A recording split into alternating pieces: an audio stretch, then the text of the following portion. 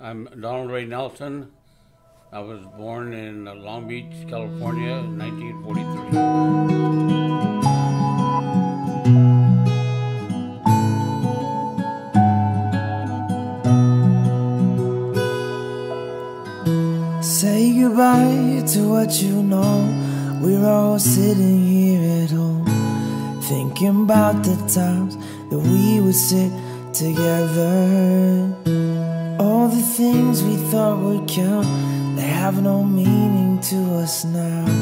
All we got is who we have inside our homes. But tell me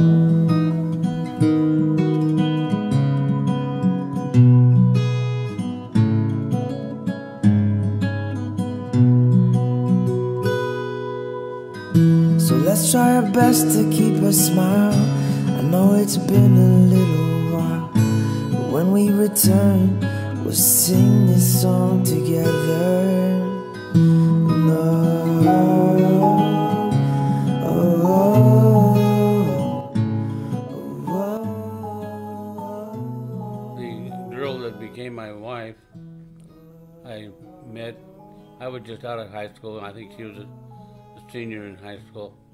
Uh, it wasn't the same town. She lived about, I think it was six miles away from the town that I grew up in. I met her through one of her girlfriends, who the girlfriend had a crush on me and wanted to introduce her to me, so she did. And when she introduced to me, uh, I asked her if she wanted to go out. and so uh, we went out, and I don't know what, I dated her for about five or six weeks, and I decided in my mind, uh, this girl, I'm going to see if I can marry her someday, which I did.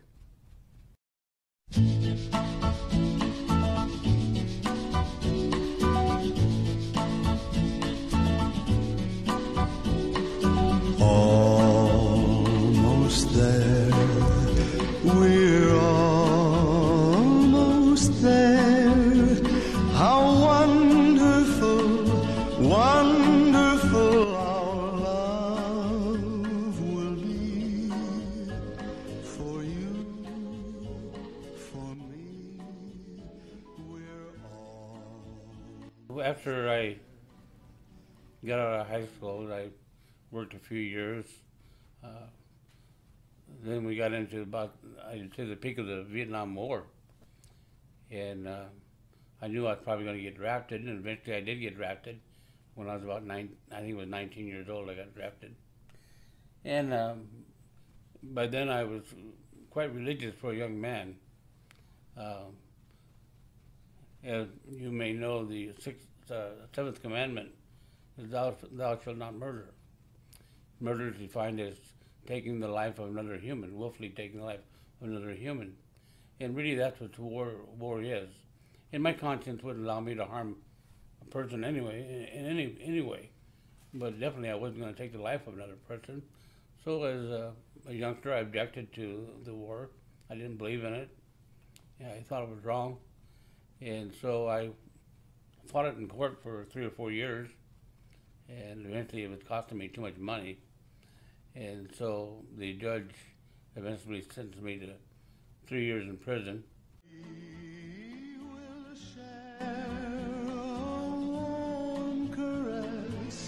Tenderness, a dream come true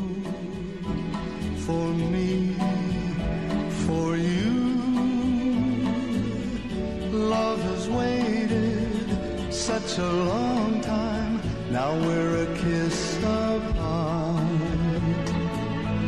Darling, this is the right time to let the kisses start, for you're almost mine, and soon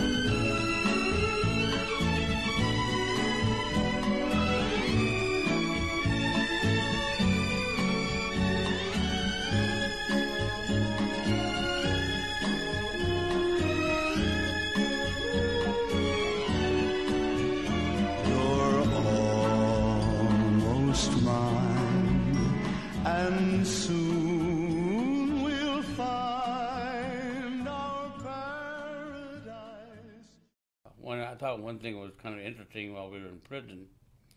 Uh, I didn't work in the uh, mug area, but uh, a couple of my friends did, and uh, they uh, snuck the the camera out one evening, took it to their place of residence, and so uh, at about I guess about two o'clock in the morning, we all went down into the fire station there that the prison had, and uh, we took a you might say a class picture of all of us. I think there was like 30 of us, close to 30 of us. And then when I got out of prison, I developed those negatives and uh, had them blown up to about yay big. And so I got that class picture, which is a reminder of the good old days. Yeah, when I got out of prison, I got out of prison in April of 68, I think it was. Yeah, 68.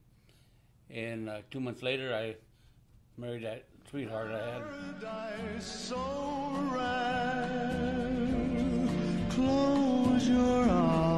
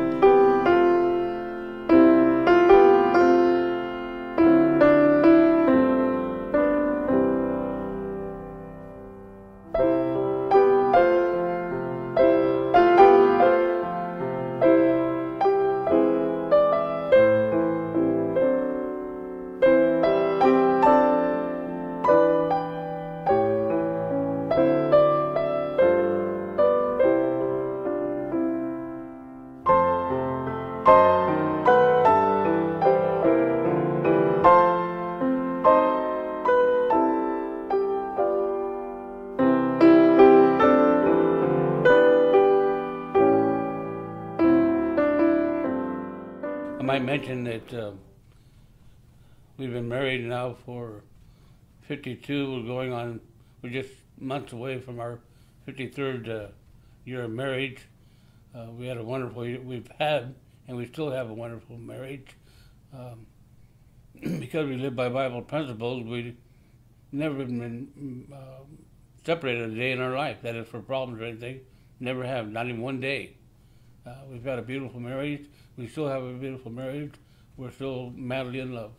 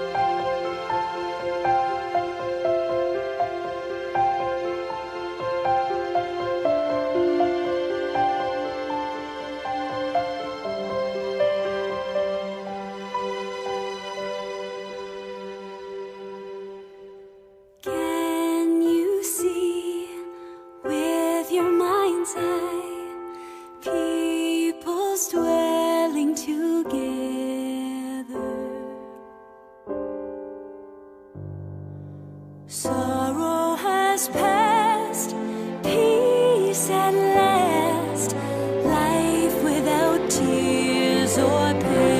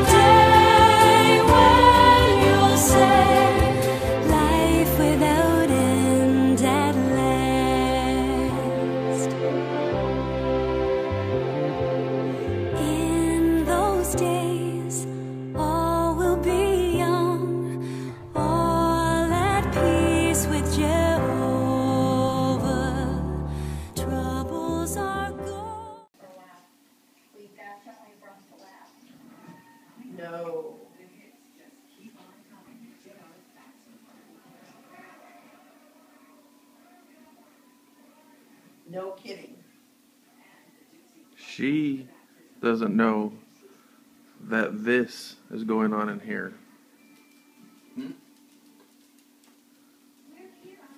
What? He's eating one of those. Really? And she doesn't know. That's why he's in here behind the wall.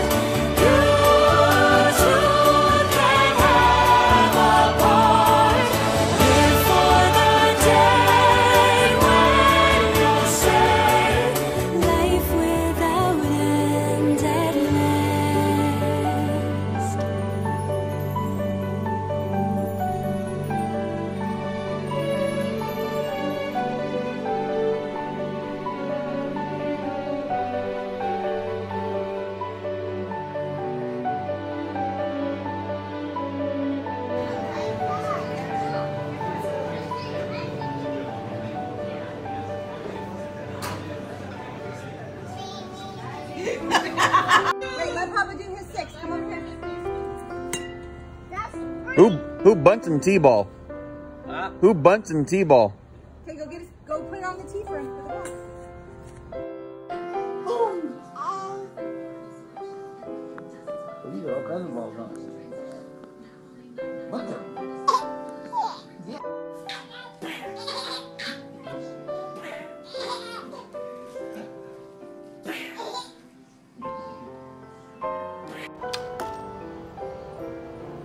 Good shot, Papa. God, I wish I would have got that. I, yeah. Oops, and you didn't get that. that. What are you going to do to Papa?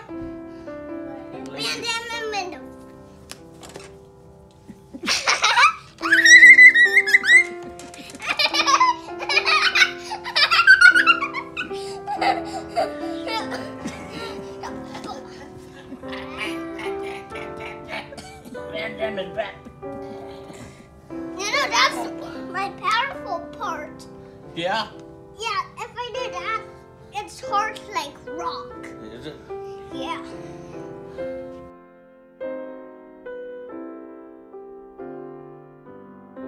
See, we need to reflect back on that scripture there in Malachi, chapter 3, verse 7. What did Jesus say? Or Jehovah say that is? He says, Return to me, and I will return to you. See, that helps us appreciate the, the doors to those vessel like congregations are still open. Yes, even to these disfellowship ones. But now, how long are they going to remain open? We don't know. We can't say. But we do know this time is running out.